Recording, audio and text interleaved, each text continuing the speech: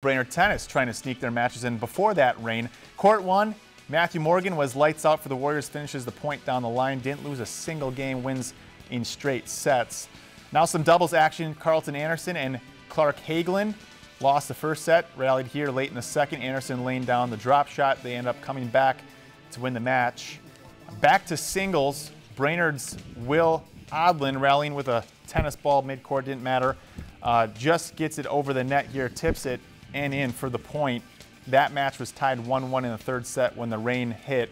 Two other matches did not finish either. Brainerd was up 4 0 against Sartell when they decided to call it. Lakeland News is member supported content. Please consider supporting Lakeland News today.